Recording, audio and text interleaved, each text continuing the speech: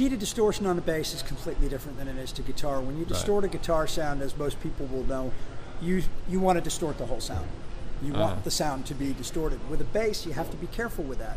Using a normal distortion box on a bass will make things very muddy, and then you lose your fundamental, you lose your tightness, you, you lose the big picture basically with Right. bass guitar. So with this thing, the way that it nails certain frequencies and doesn't disturb the fundamental, un- Yeah. unless you want to disturb the fundamental. Right.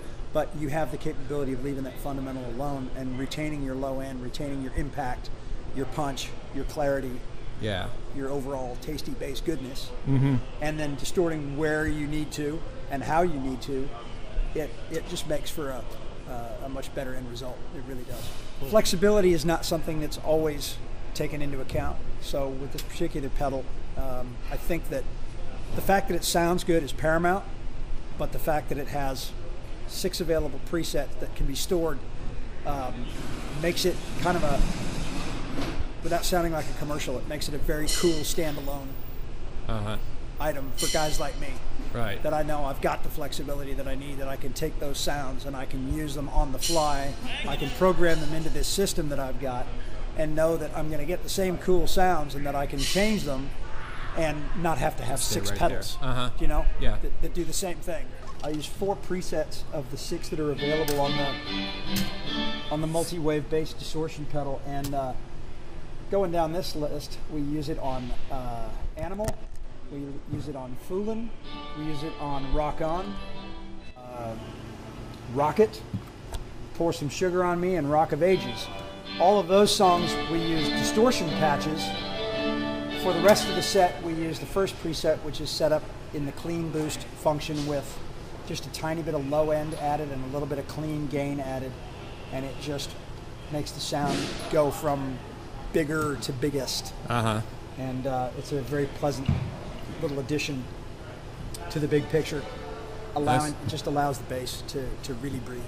To really it opens it up and really lets it breathe. Our front of house engineer is also the band's producer, so he's been sort of working with me all along the way, and he's very very happy with the sound as well.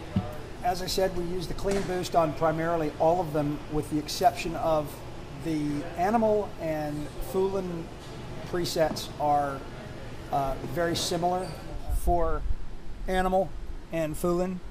We're using the third preset in the normal range. I pretty much stay within that normal range for Okay. most of this stuff. Too bad normal. We go from there to why don't I take you a step back and that is the, the main bass sound right there, which is again clean boost with EQ Uh-huh. with a slight nudge down on the low end Right. and the clean mix is giving it just a tiny bit of overall gain.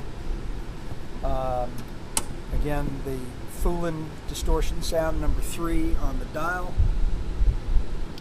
This is the rocket bass sound, Okay. which is, I guess you would say, halfway in between clean boost and your first distortion preset. You can see where the EQ is quite a bit more extensive on that particular preset. Again, that is for rocket. Sugar is the same distortion. Pour some sugar on me is the same distortion with a flat EQ, but with a more pronounced distortion mix on it. And then Rock of Ages. Uh, yes, we've gone back to using the same preset that we use for Animal and Foolin there, which is number three with a nudge in the low end.